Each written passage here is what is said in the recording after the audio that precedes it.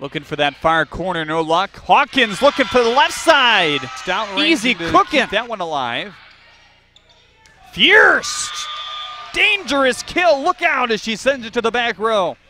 Surrounding it is Amber Stout to the far side. Here's Hawkins again. Enough is enough, says number 12. You're safe Hawkins. Laser to the back row. of the three sets. This one in set one, very competitive. Set two, it was a little late rally, but the Crusaders had a lot of the momentum through it. Maybe Carly Kelly getting it back here for Madonna. Now 15 to 10 is the Surmeyer Crusaders there. trying to. Korth, right side, Hawkins.